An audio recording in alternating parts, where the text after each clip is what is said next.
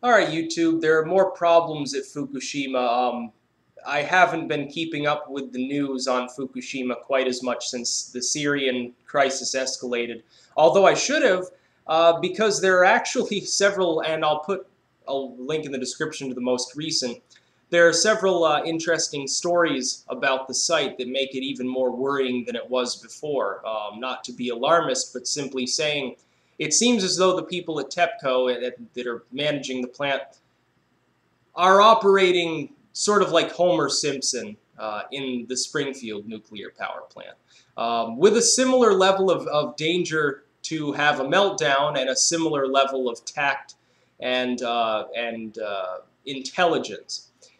So there are new problems. Uh, the story linked in the description from today is that the radiation levels at the site are 18 times higher than previously thought. Um, that some of these storage tanks, which by the way, another story was that they are bolted together rather than uh, uh, melted together, you know, welded, uh, which is a terrible idea and just means you're inviting corrosion because they're containing seawater. Um, but enough about that. Turns out radiation levels are 18 times higher than they thought they were a few days ago. Why? Um, because the instruments that they were using to measure radiation, and I don't know how to pronounce this word, so if I get it wrong, those of you who are grammar Nazis, correct me. Uh, millisieverts or millisieverts uh, per hour, uh, their instruments go up to 100. It's actually 1800. They just didn't realize it because they didn't have any more sophisticated instruments meaning that if you were to stand on that site for four hours, you'd die uh, if you weren't wearing protective gear. Um, my thought, main thought being, my goodness, the workers who have been working in those conditions uh, should actually have been on site 18 times uh, less for a uh, sh much shorter period of time than they're actually stationed there working on this, uh, this immense pipeline system, which is supposedly to cool off the reactor core and, and to store water um, because there's there's actually a, an international limit of what people are supposed to be exposed to. So these people are probably dead. They're going to get cancer. Um, so there's a bunch of people that TEPCO is going to have to pay out down the road, assuming that they uh, still exist as a company after this debacle. Um, oh, there was another story four days ago that half of their decontamination system has been so heavily corroded that it no longer works. That is that the, uh, the systems that they use, when the water is pumped back out of the reactor, see, they pump seawater in to cool the rods. Then it gets pumped back out and put into storage. Um, and it's supposed to be partially decontaminated as it's pumped out. The idea being if it's decontaminated some, it's a little bit less dangerous to handle and store. Unfortunately, 50% of these uh, systems aren't working, so this water is, is much more radioactive than it should be. Some of it's probably not even being filtered at all. Um, the tidal wave, uh, almost a tip of the hat to the tsunami there, uh, the tidal wave of problems at the site has, has risen drastically over the last few weeks. It was for about a year there, you didn't hear much about Fukushima. You heard that, yeah, it was still sort of tenuous at best as to what they were doing there. Then they came out and said, well, we're going to try to, to do this uh, fantastic job where we actually remove all the fuel rods manually, which uh, some of the more astute observers realized is highly unlikely they'd be able to do that without causing a nuclear fire and causing further meltdown and, and killing all the workers that were anywhere near the plant at the time they were trying to do it. Um, and since then, you've just seen it in the news over and over again. Right now, people are more focused on Syria, but they should be focused on Fukushima when you really think about it. If this place has a meltdown, and this it's 10, 10 times more nuclear material than was ever at Chernobyl, not all of which even ignited.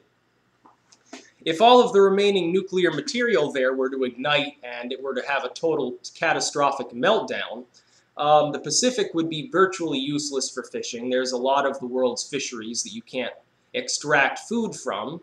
Uh, coastal economies would be fucked. Uh, agricultural land would be blanketed in a great deal of radioactive ash that would make it useless. The Napa Valley would be gone. Coastal China, which is a breadbasket, um, all the hundreds of millions of people who live there would start getting tumors. Korea basically, I mean, it's this little thin peninsula. Korea would cease to exist probably. Japan would be completely screwed. Chile, um, even if they got a lower dose of radiation, think about uh, the size and the shape of Chile. It's basically a long strip of coastal land. They'd be completely screwed. All of their agricultural land would be contaminated. Uh, probably go over the mountains in Argentina. Uh, the Amazon would become a nice radioactive jungle if the animals there aren't dangerous already. Wait till they mutate 10 times faster. Uh, be, you can't underestimate the danger of this plant just sitting there right on the coast with thousands and th tens of thousands of gallons of highly radioactive water. It's draining into the ocean 300 tons of this material per day.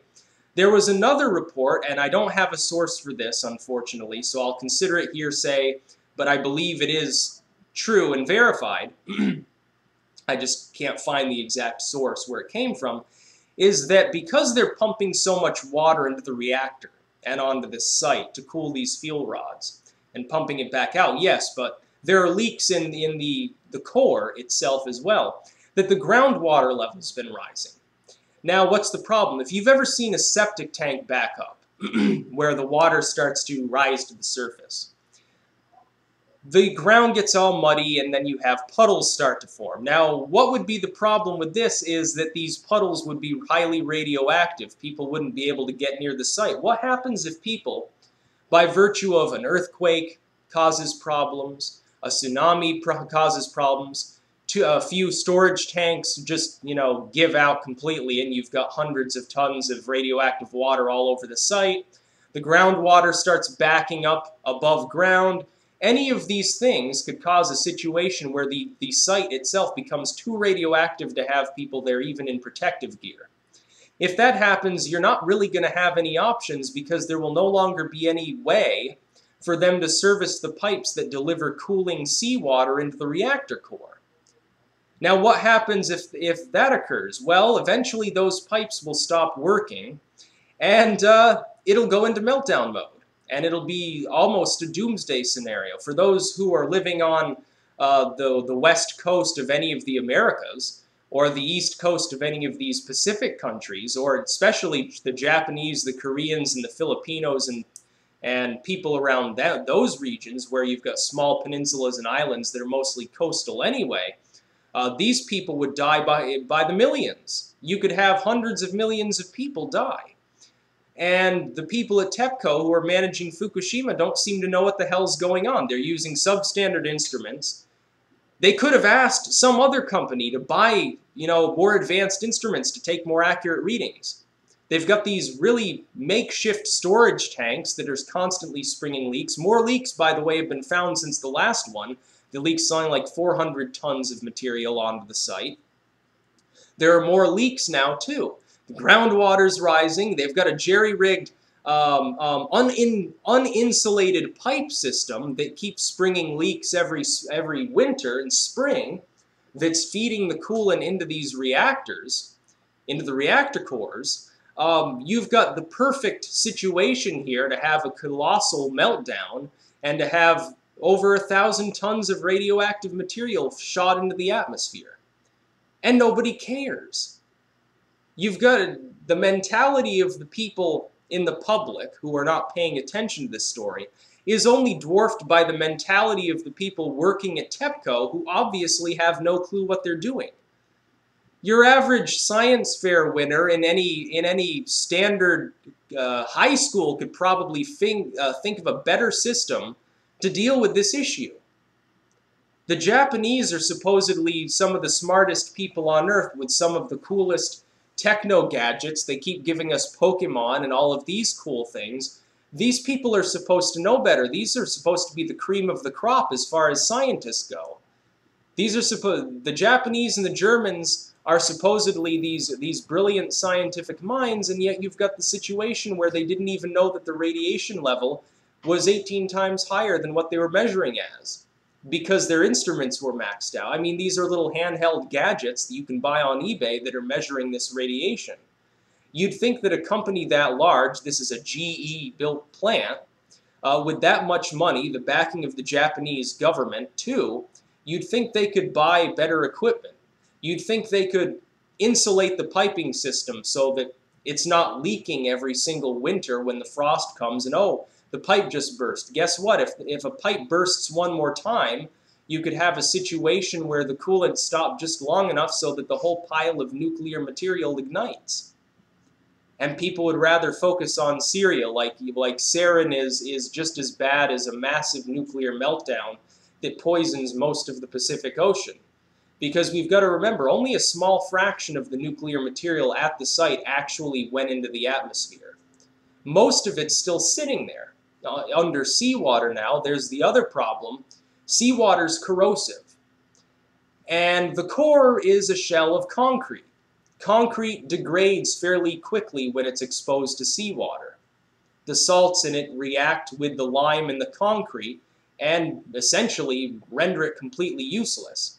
Now, what's going to happen if, I don't know, this concrete shell that all this blob of melted nuclear material is in that's being cooled so it doesn't melt down? What happens if this concrete degrades enough so that there's more water going out than water coming in? And by the way, we've only got 12 hours before it melts down. We need a bigger pipe to pump more coolant in. Well, what happens if you can't set it up quickly enough?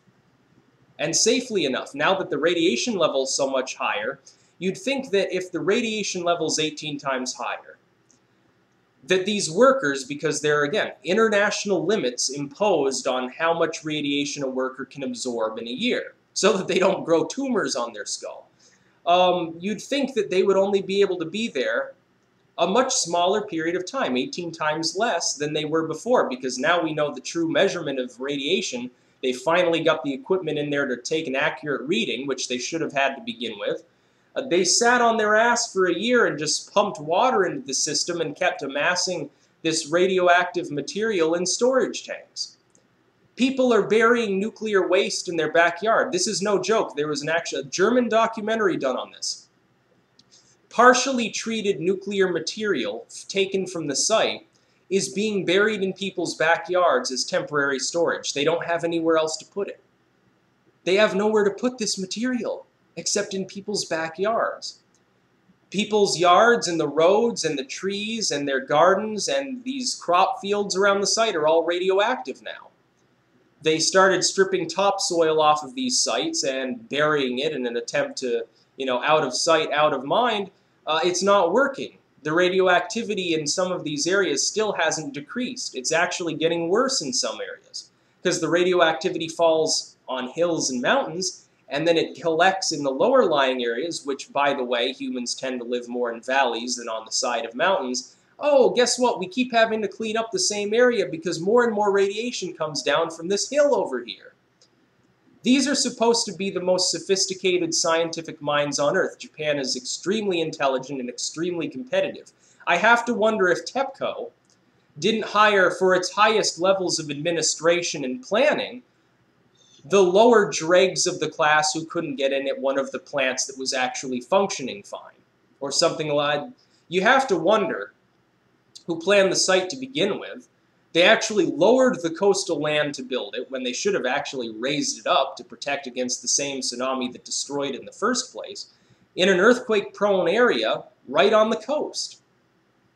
Nothing else could possibly have been more wrong than to put this plant there, especially since it uses the older style of cooling system where it has to be continuously fed water or it ignites. Any day now, I could wake up and look on the news and say, oh, Fukushima just blew its top. By the way, United States, you're going to get a nice dose of fallout. Pop some potassium iodide pills. They're decommissioning the one nuclear plant we've got in my state, partially because of budget concerns, because it's not making any money, and partially because people here don't want it. They don't want a nuclear plant here in the state of Vermont. Nor should anyone want to live near a nuclear plant. Yeah, it might work fine for 50 years and never have a single issue. Or something might go wrong, an earthquake, you know, destroys one of the cooling towers or, or knocks a fuel rod loose, and all of a sudden you've got a catastrophe. And it's even worse because it's on the coast. It has the potential to poison the water as well as the atmosphere. When Chernobyl hit, it was an inland area. It did not poison any major watersheds. This is not the case at Fukushima. What they ought to do is divert all the money and planning that's going to Syria right now to Fukushima, put as many good nuclear experts from the US and Europe in Japan right now that they can, with the amount of money they can spare to do it, to figure out this problem because it's a ticking time bomb in the most literal sense, too. Um, they won't, but that's what they really ought to be doing because literally any day now you could wake up and and uh, Fukushima just had another meltdown. Kiss your ass goodbye because you know a great deal of food is now useless. Uh, you're going to have much higher prices on fish. And oh, by the way, just as an aside, two, three hundred million people are going to die, and the entire west coast of the Americas is now depopulated. It's a ridiculous situation. Uh, the Japanese government should get some better people in there to deal with this situation. It's obvious that they